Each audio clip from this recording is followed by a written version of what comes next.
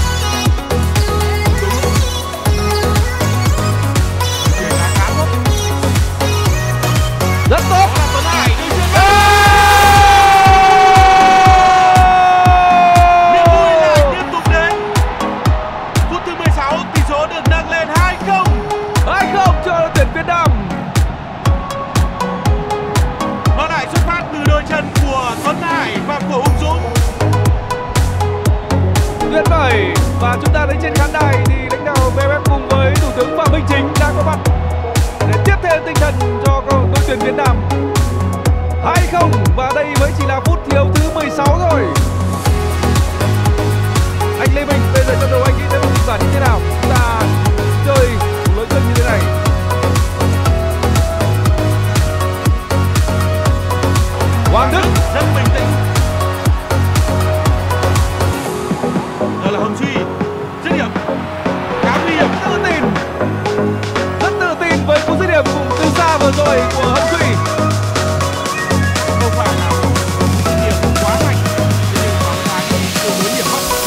khởi đầu tình huống này tới từ tình huống sâu kim.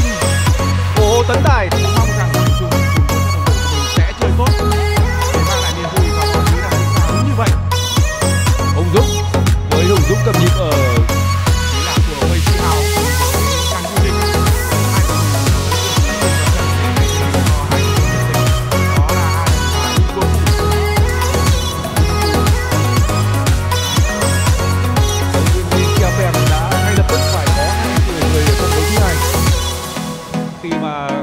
các tuyến của đội tuyển Trung Quốc thi đấu và phù hợp với nhau khá rời rạc. Rất tuyệt. Trọng tài cho trận đấu tiếp tục. Dù rằng có thể bóng đá chạm tay Hùng Dũng. Tuấn Hải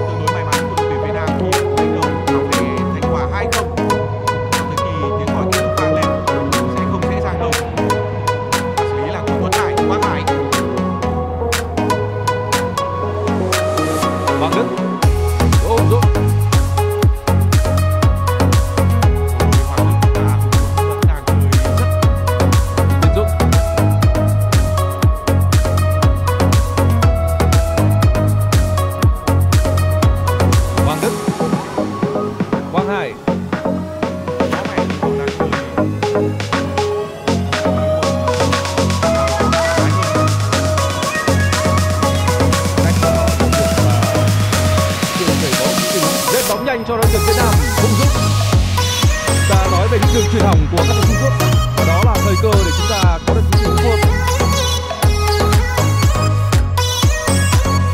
Đình Dũng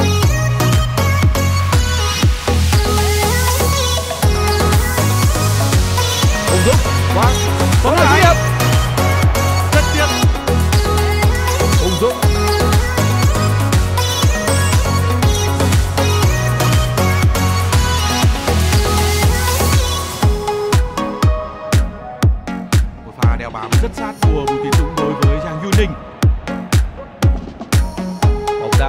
lùi về phía sau với sự bật của Giang Quang Tài.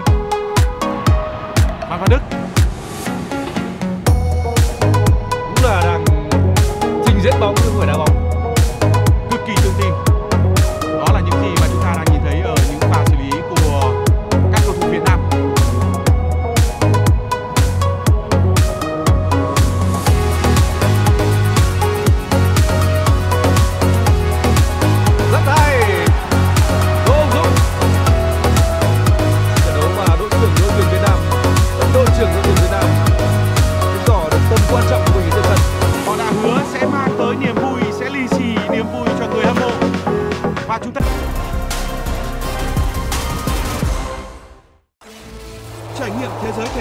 không giới hạn cùng FPT Play.